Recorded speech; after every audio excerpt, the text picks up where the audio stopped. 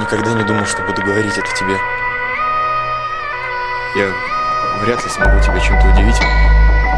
Я никогда не был таким ярким.